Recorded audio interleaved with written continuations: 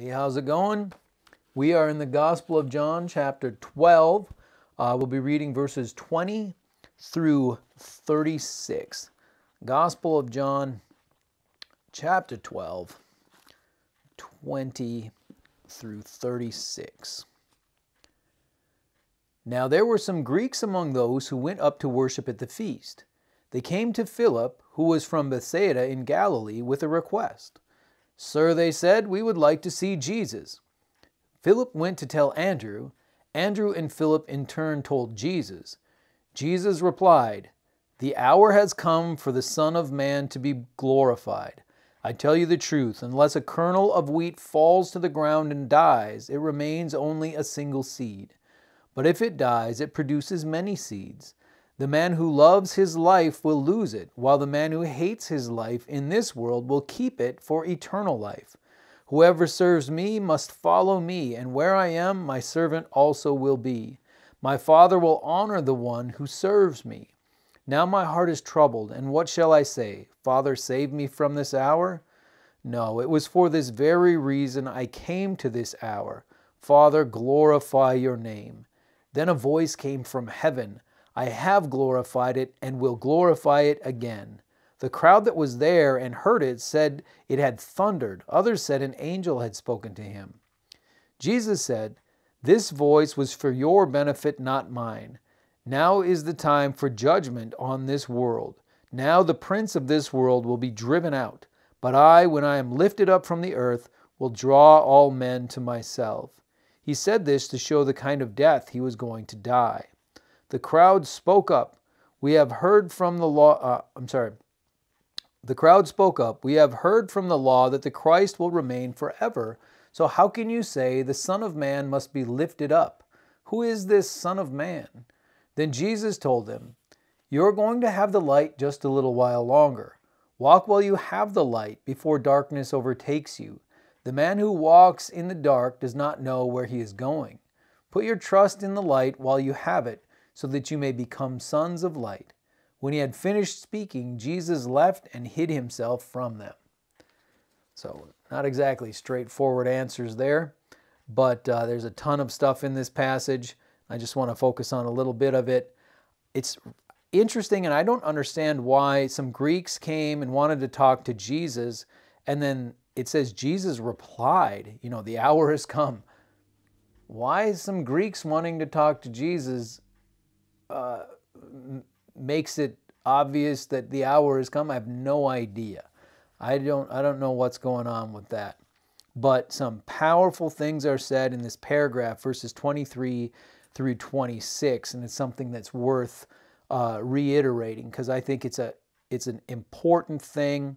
It's a concept that Jesus uh, is recorded as uh, talking about six times in the Gospels. That, that means it's in all four of them and it's in two of them twice. Uh, very important concept. So let's read those verses again. Jesus replied, The hour has come for the Son of Man to be glorified. I tell you the truth, unless a kernel of wheat falls to the ground and dies, it remains only a single seed. But if it dies, it produces many seeds. The man who loves his life will lose it, while the man who hates his life in this world will keep it for eternal life. Whoever serves me must follow me, and where I am, my servant also will be. My Father will honor the one who serves me. So that verse 25 the man who loves his life will lose it, while the man who hates his life in this world will keep it for eternal life is that thing that Jesus says in different ways, recorded six different times in the Gospels. So here, of course, Jesus is talking about his own death, um, but he's also talking about his expectations of his servants. You know, he's talking about how he's going to die, his moment has come.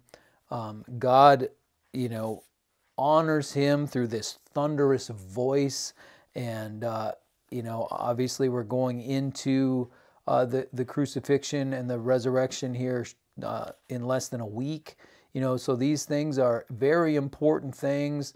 Um, but Jesus is also talking about his servants giving their lives for him. So Jesus gave his life for us that we could be redeemed, that we could be given everlasting life. but we give our lives to Christ, not in not necessarily in sacrifice to death. Um, that may happen. It's it's fairly rare, uh, especially in the United States. You know, you're pretty safe being a Christian. You know, it's kind of a protected uh, country. You can have different religious beliefs, political beliefs. We're very safe here, so don't uh, don't get too hung up on conspiracies and stuff.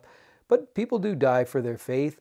But I think what Jesus is talking about here is living for Him.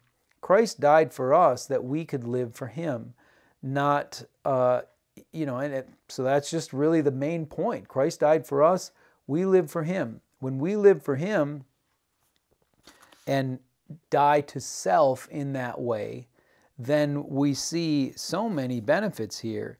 You know, Jesus says if uh, the kernel of wheat falls and dies, then it produces many seeds.